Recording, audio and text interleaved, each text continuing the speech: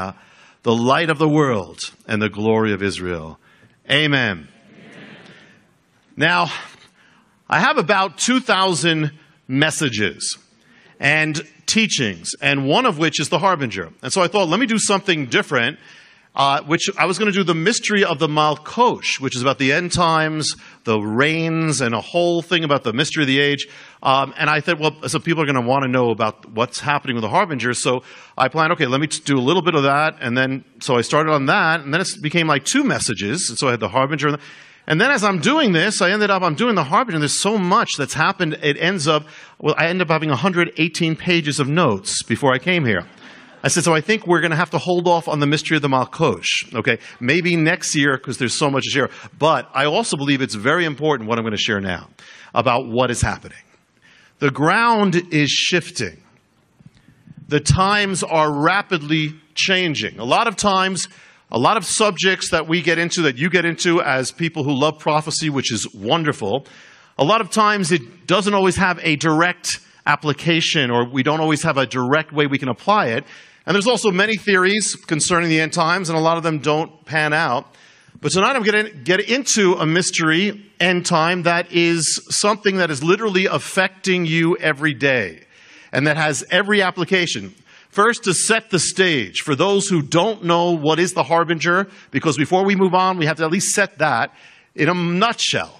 The harbinger is the revealing of an ancient mystery that is behind what is happening now in America, so precise that it actually gives dates and times of events that are happening. It actually gives the words that American leaders speak before they speak them. It begins 2,000 and well, basically almost 3,000 years ago in the days of ancient Israel, the last days of the kingdom before its judgment, there manifests nine harbingers or nine prophetic signs in the land, warning them of judgment. But the people of Israel disregard it and they continue in their path of defiance against God. And so they, a number of years are given to them. They refuse to turn back. And then in 722 BC, they are destroyed, wiped off the face of the earth.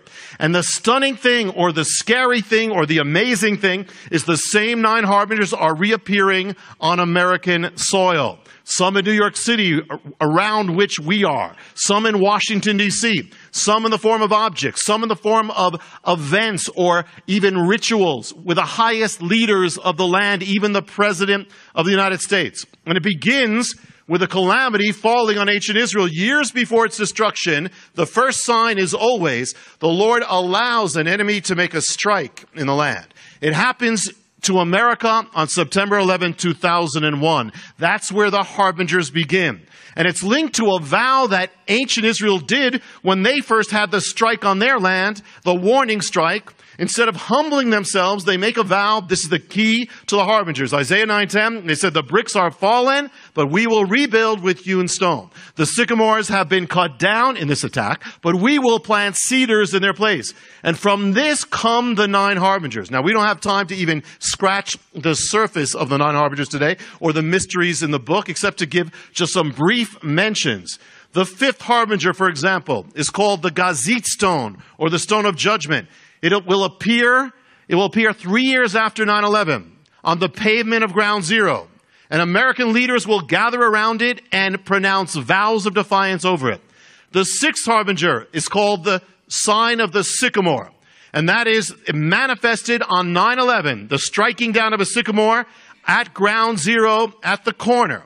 There is a prophecy that the basically the leaders of ancient Israel actually pronounced judgment on their land by actually saying this vow in Isaiah 9:10 the bricks have fallen. On the morning after 9/11 the American government gathers on Capitol Hill and one man is appointed to give America's response and that is the Senate Majority Leader out of his mouth on the floor of the House of Representatives. He pronounces the ancient vow of judgment word for word, Isaiah 9:10, that literally identifies America as the nation in defiance of God. And from this, and then comes, and we're just, you know who know the book, I'm just, just scratching the surface, but yet, so you have a framework.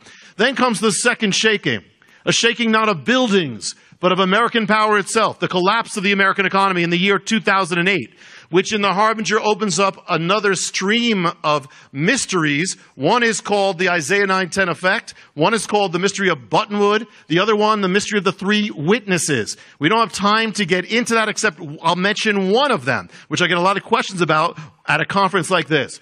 It goes back 3,000 years and beyond to the sands of Sinai, to Moses and that the one day, there's a day appointed on the biblical calendar when all financial accounts are wiped away from the nation of Israel. And this day is called Elul 29.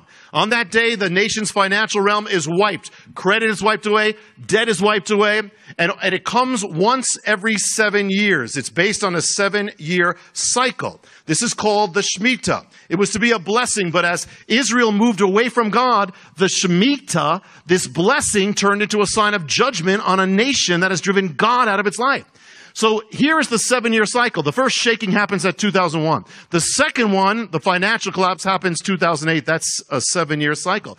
But the crescendo in 2008 happens on the day of September 29th, 2008, the greatest crash in American history. When did the greatest crash happen in Wall Street? It happened on the exact, precise day appointed in the Word of God to judge a nation that has driven God out of its life and that strikes the financial realm of that nation. It was Elul 29, the crowning day of the seven year cycle. And actually, when you go back seven years from that crash, you come to another crash. You have the other greatest crash in American history, which happened on the exact same biblical day. The two greatest crashes to those days happened on the exact same Hebrew day. Elul 29 happened on the exact day that's appointed to strike fi- the financial realm of a nation. There is nobody on earth who could put that together. Only the hand of God. And it happened eerily. It happened down to the hours. It is so precise. And so, and so that's why people ask me, okay, what about the next one? I'm not telling. Okay. then there is the mystery ground before we move forward when simply this, the, the pattern is that when judgment came to ancient Israel, the destruction returned to the ground where the nation was dedicated to God, consecrated to God, the Temple Mount. And it's a prophetic warning. Well, when you go back in American history, there's a day when America began as a fully formed nation. When Washington is sworn in as president, he puts his hand on the Bible and gives a prophetic warning to the nation, which is coming true in our day, of what happens if we ever turn away from God. And, and what happened is, after that, the entire first government of America walks on foot from, from the place of the inauguration with Washington. They go to a place appointed to dedicate this country to God. And that is the dedication of America. That's the dedication ground. Where was it? It was the capital city, was not Washington DC. The capital was New York City. Where in New York City they dedicated America to God at ground zero. The ancient mystery returns to the same ground, the same place, and the warning that God is giving. And there is so much, I'm just touching it for those who have not read it. To say there's so much to say of this in the book, but what I want to share is something else or link to this because the harbingers have not stopped. They have been continuing to manifest since the book came out. In fact, what is in the book has been coming true to the point where when I heard about some things, I didn't believe it and I wrote the book. But I don't take, I don't take credit for the book. Because what's taking place in America and really Western civilization, but America has not stopped. The mystery of the harbingers is not just about the appearance of harbingers. The mystery is also about the course of a nation in danger of judgment. The harbingers appear to a nation that is progressing in apostasy to judgment. And end times, we know, well, you know, there, there's the mystery of where is America in all this? Well, here is America now. There's a timing to it. There's warning comes before judgment. The Harbinger came out in 2012 at the very beginning of the year. That same year, that same year turned out to be a real tipping point in what's happening around us in America. When the Harbingers appeared to ancient Israel, the nation didn't repent. They defied God. They moved farther and farther until they were destroyed. What has happened to America since 9 11? Since 9 11, America has not moved closer to God. I think we can all agree on that. It has moved much farther from God. It has moved in apostasy. After 9 11 was a move actually to take the words under God out of the Pledge of Allegiance after 9 11. And in more than one presidential address, quoting the Declaration of Independence, the word God was mysteriously removed from the speech. Within the first days of the new administration, American policy was reversed on abortion overseas. An order was signed. America would now endorse the killing of unborn children around the world. Under the new government, the month of June was proclaimed Gay, Lesbian, Bisexual, Transgender Month. And Americans were told to celebrate homosexuality from the White House. It is progressing. The, the comes, then comes the removal of the ban on homo, open homosexuality in the military, which is now teaching classes, which is now endorsing it, and having soldiers, gay soldiers, marching openly in gay pride events. The Secretary of State then made a declaration the U.S. would have a new foreign policy. We would endorse gay rights around the world, pressure countries that are opposed to homosexuality. Laws have been passed which, if fully enforced, could declare certain preaching of the Word of God illegal. Other laws were in the works that could force Christian ministries to hire those who practice open homosexuality. It's not just the federal government. When 9 11 took place, there was no state in the Union where marrying a man to a man was legal. Now there are several. Interesting, it began and spread from New England, the land of the Puritans. The Harbinger came out exactly that beginning of that year, 2012. That year was a tipping point. The tipping point is defined as the moment of critical mass, when the dynamic changes, when things begin to speed up or accelerate, like tipping over a chair. When the Harbinger was released, this was a year of tipping points. For the first time, the number of Americans against the biblical definition of marriage passed 50%. When just a few years before it was a clear majority against it, only a third of people were for that.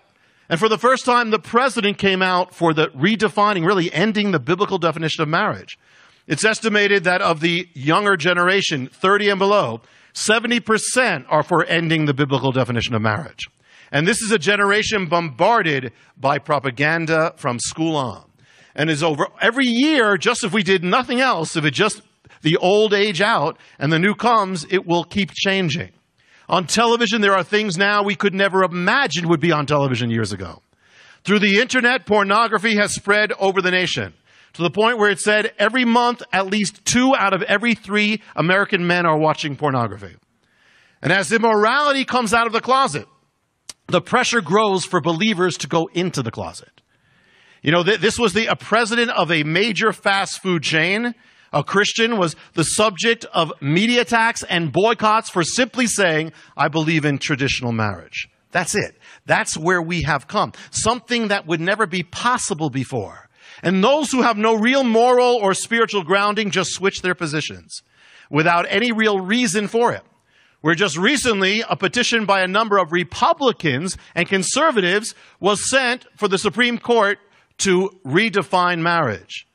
And the White House was led, led by a man who a short while ago said he's wrestling with the issue as a Christian. He cannot be for it. Suddenly he switched the position. What happened to being a Christian? And now sending a message now in this year, 2012 or last year. In the recent Democratic convention, the word God was removed from the platform, as was the word Jerusalem. When this came out into the news, it caused a backlash. They attempted to quickly do damage control. Yet when they put the motion of God to vote for God in Jerusalem, some of you saw this, it was clearly booed throughout the convention. I mean, the, the boos were certainly as strong as any support. And that convention won the popular vote, and then came the election. And the election, this is not about a person or a party. This is about God and where we are. And for the first time, several tipping points, a president who said, let's end the biblical definition of marriage was reelected. And not just that, for the first time, a state, not one, but count three states, ended the biblical definition of marriage in one election by margins of 48% to 52%, 49%, 51%. This is a tipping point. And there's more talk of the end of the influence of Christians on America's future. And then came the inauguration, during which, for the first time, a president enlisted the entire nation into the gay agenda. Speaking of Stonewall, a violent riot in a gay bar with violence against police officers, he put it as the course of America. This is part of the proud heritage. The president said, We are following a star that has guided us. What star? Interesting, there's one in Scripture who is called a star, but he's not good. The inauguration was also noted for the removal of two words where it should have appeared under God was removed. And for the first time, in effect, a Christian minister was banned from praying in the public square because two decades earlier he had said what the Bible said is sin. For the first time for believing basically in the Bible. The year 2012, it came out for the first time in America, Protestants are no longer in the majority. And largely in the Protestant realm comes those who are born again, statistically. The same poll found the number of people who said they have no faith at all has multiplied. And those under the age of 30, one out of every three will say, we're, we're not a Christian at all. I'm not a Christian at all. Not, not nominal. I'm not a Christian. One third of America, well, one third of the future of America. And some say it's more like four out of 10. That's 40% of the future. The age of what could be called Christian America is rapidly ending. And now over 40% of children in America are born with no marriage and often no father. And of adults, the future is if you're 20 to 30 and you have kids, chances are 50% of the children will not be born without, will be born without marriage. Since that election, that tipping point, there's come a major accelerating developments. The Boy Scouts of America, a group that took much attack for their stand on marriage or, or gender or, or homosexuality or morality, they start to crumble. Another organization, Exodus International, a Christian ministry that helped get people out of that lifestyle, made a public apology to gay and lesbian groups for its ministry and closed up their ministry. They made a study of the media comparing news stories that are for gay marriage and those which are against. They found that the ratio was five to one for gay marriage. The chief umbrella just, just about a month ago for American pediatricians, that's doctors who deal with your children, told all American pediatricians on their list to put out pro gay materials in their office for the children so that the children can be exposed to it. Meanwhile, abortion continues unabated. Millions of children are continually killed in their mother's womb. And for the first time, the government has begun to force or to try to force Christian organizations to actually pay for abortions. And even in the realm of foreign relations, America's relation with Israel has never been as strained as it is now, since it has been from the beginning of Israel's rebirth. And just last month, the Supreme Court issued a decision that was momentous. For the first time in American history, the Supreme Court ruled homosexuality and homosexual marriage to be constitutionally protected and labeled the view that this is wrong as demeaning, humiliating, and harmful. In 1996, Congress voted to protect traditional marriage and the definition of marriage to up, by upholding at a federal level a union of man and woman. Wouldn't seem to be too controversial the Defense of Marriage Act. No, but not to, but to a Christian nation. I mean, even to an Islamic nation, that wouldn't be controversial. But to a nation in spiritual apostasy and free fall, marriage becomes controversial. In the 1996, the defense of marriage was voted with overwhelming numbers of Congress, a vote of 342 to 67 in the House. Even the Democratic Party, it was overwhelming. Overwhelming. And yet, when it was struck down a month ago, its striking down was hailed by a chorus of Democratic leaders, the same leaders who had voted for the very act they were celebrating its destruction. The leaders were symptomatic of a spiritual schizophrenia in America, an apostasy. So too was that declaration, presidential act that said, June, we're all to celebrate homosexuality, because the bottom of the act, it closes with, in the year of our Lord. The Supreme Court just began the overturning of thousands of years of human morality, overturning the Word of God.